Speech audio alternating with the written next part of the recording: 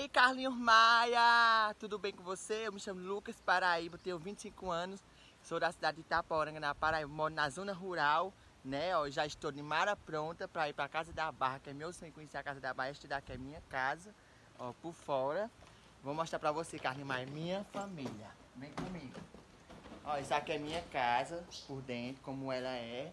Eu moro no sítio, né? Uma dificuldade muito ruim para ir para a cidade. É um quilômetro daqui do sítio para a pista. Cadê minha mãe? Vou mostrar ela. Ó, essa aqui é minha cozinha da minha casa. A minha casa é simples.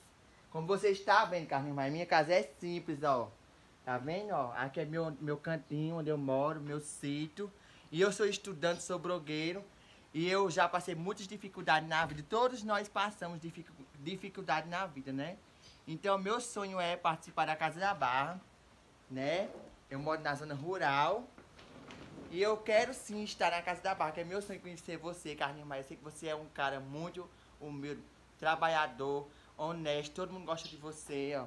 Esse daqui é minha mãe, Rosileide Ricardo. Minha mãe já é aposentada, né? Meu pai também trabalha. Mora eu, minha mãe, meu pai e meu irmão. Minha irmã mora no Rio Grande do Norte. Essa daqui é minha casa. Como não tinha ninguém para me gravar, para me filmar, eu mesmo estou gravando meus conteúdos na minha casa. E eu também não tenho, não tenho transporte, Carlinhos. Eu moro no sítio, é uma dificuldade muito ruim para ir para a cidade. A gente depende de um de outro. A gente depende do transporte escolar, a gente depende de carro particular. Eu dependo também de mototáxi. Eu gasto 20 reais de mototáxi para ir para a cidade. É muito ruim é, viver assim nessa vida de blogueiro, de, de, de influenciador digital.